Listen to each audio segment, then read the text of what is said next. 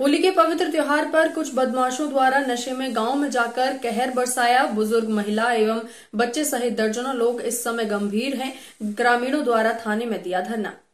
आपको बता दूँ, दिनेशपुर थाना क्षेत्र में से मात्र तीन किलोमीटर दूर खटोला नंबर दो में गाँव में लोग होली का उत्सव मना रहे थे। अचानक दर्जनों बदमाश मामूली कहासुनी पर गाँव में घुसकर लाठी डंडे से प्रहार किया, जिसमें बुज़ुर्ग महिला, बच्चे सहित कई लोग गंभीर रूप से घायल हो गए। स्थानीय लोगों कार्यवाही को थाने में आकर धरना प्रदर्शन किया और तत्काल बदमाशों को गिरफ़्तार करने के लिए मांग की। थाना अध्यक्ष अनिल उपाध्याय का कहना है, तहरीर के आधार पर मेडिकल कराया जा रहा है और सख्त से सख्त कार्यवाही की जाएगी।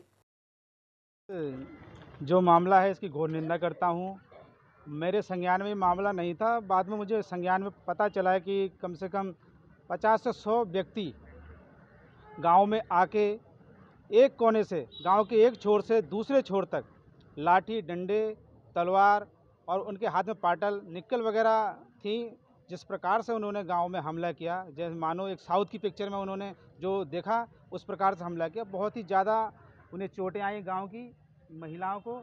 उनको ये भी नहीं देखा, इतनी भी शर्म नहीं आई कि गाँव की छोटी छोटी बच्चियाँ हैं उनको भी पकड़ के मारा, उनके कपड़े तक फट गए इस मामले में। और इतनी चोटें आई हैं, कुछ व्यक्ति हमारे हमारे गाँव के कुछ लोग जो हैं, आईसीयू में हैं और अस्पताल ने रेफ़र कर दिया था, जिला अस्पताल ने तो हायर सेंटर में रेफ़र कर दिया गया है, वो आईसीयू में पड़े हुए हैं, उनकी हालत गंभीर है, बनी हुई है।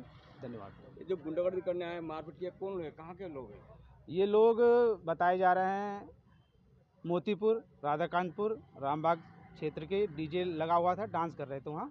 और और गाँव का शायद खटोला का भी एक व्यक्ति उसमें मेरे संज्ञान में आया है कि लड़ाई का मुद्दा क्या है? क्या मैं लड़ाई का मुद्दा मेरे संज्ञान में पूरा तो नहीं है जहाँ तक मुझे पता चला है कि बाइक से ये दारू पी के बहुत तेज़ी से ले जा रहे थे कुछ बच्चे हमारे गाँव से। तो उनका क्या है बाइक लग गई बच्चों को दो बच्चों को। उन उस बाइक की टक्कर से इन्होंने कहा होगा रोको।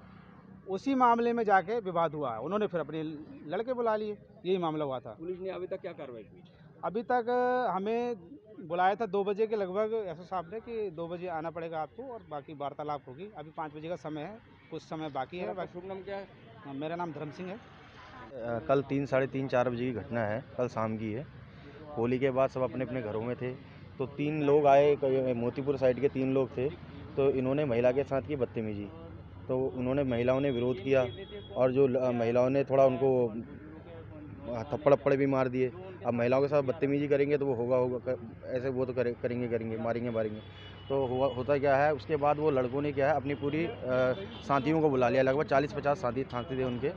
तो उनको जो मिला मतलब पूरे गाँव में जो मिला एक तरफ़ से चाहे वो बच्चा हो या बुढ़िया औरत हो या क्या कहते हैं लड़के हों जो मिला उनको एक तरफ़ से मारता मारना चालू कर दिया उन, उन लोगों ने।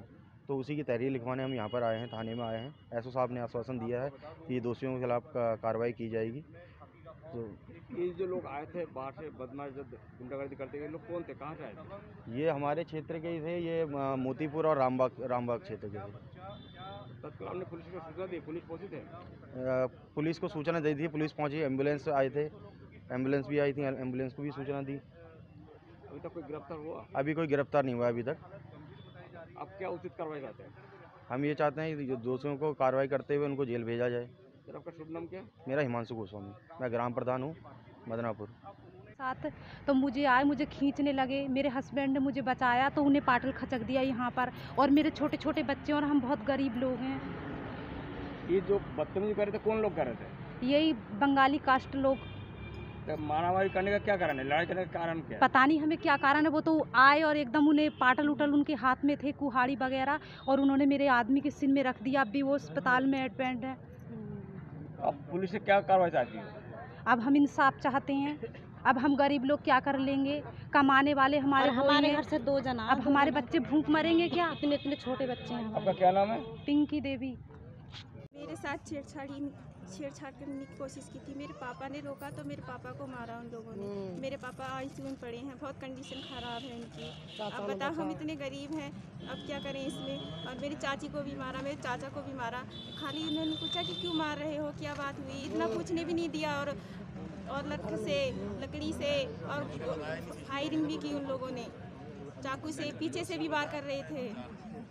ये जो बदतमीजी कर रहे थे गुंडागर्दी करते होली के त्यौहार में कौन लोग थे? कहाँ से आए थे? ऐसा पता नहीं है हमें कहाँ से आए थे पर बहुत सारे लोग थे। अचानक घर के अंदर घुस गए? हाँ। कोई पुरानी रंजिश तो नहीं है? नहीं कोई रंजिश नहीं है। ऐसे बदतमीजी कर रहे थे गाली गलोच भी कर रहे थे लड़कियों के साथ। तो पुलिस से क्या चाहते हैं आप? हम इंसाफ चाहते हैं हमें इंसाफ मिले। आपका क्या नाम? सुनीता। सर मेरा नाम मोहन सिंह है और मैं बुक्सा संगठन का अध्यक्ष हूँ और ये हमारे समाज के बुक्सा समुदाय के लोग हैं। और निर्मम तरीके से यहाँ पर कुछ लोग ट्रैक्टर ट्राली में भरकर आए और खटोला नंबर दो में जो भी इन्हें मिला, लड़की हो, चाहे छोटे बच्चे हों, एक बच्ची को ऊपर भी उठाया, कहने पर इन्होंने बड़ी मुश्किल से छोड़ा और जो भी मतलब घर में मिला, उनको इन्होंने बहुत बुरी तरीके से मारा बच्चों को लेडीज़ मिल जाए, बूढ़ी माता मिल जाए, सबको मतलब इन्होंने बेरहमी से, बेदर्दी से मारा। इस प्रकार से इन लोगों ने आकर यहाँ पर आतंक मचाया। तो मैं यही कहना चाहता हूँ आपके चैनल के माध्यम से। बुक्सा समुदाय के लोग मतलब बहुत सीधे होते हैं और इन्हें इंसाफ मिलना चाहिए। और जब तक इन्हें इंसाफ नहीं मिलेगा, जब तक हम धरने पर बैठे रहेंगे। एक शब्द करें इन लोग ये इन लोग कोई पुराना दुश्मन है या अचानक घुस गए? इन लोग कौन है? ये बुक्सा समुदाय के लोग। ना जो मारपीट किया जो इन लोग आप कह रहे हैं जिन्होंने मारा कौन है ये? ये इसी क्षेत्र के हैं दिनेशपुर क्षेत्र के हैं मोतियापुर से और कुछ रामबाग के और कुछ अभी तक राधा का- कार्रवाई की? पुलिस ने सर अभी तक कोई कार्रवाई नहीं की है और इन्होंने दो बजे बुलाया था। तो हम हाँ यदि पुलिस उचित कार्रवाई नहीं करता आगे क्या स्टेप लेंगे आप? तो हम इसी प्रकार प्रदर्शन करते रहेंगे सर। जब तक इंसाफ नहीं मिलेगा तीन तीन जो व्यक्ति हैं उन्हें मतलब रेफ़र किया रखा है उन्हें गंभीर हालत में चोट लगी हुई है और एक लेडीज़ भी है उनमें। और आप देख ही रहे हैं किस प्रकार से इन लोगों ने हमारे साथ हमारे समाज के साथ कितना बुरा तरीके से मारपीट की है। और हम इसकी घोर निंदा करते हैं।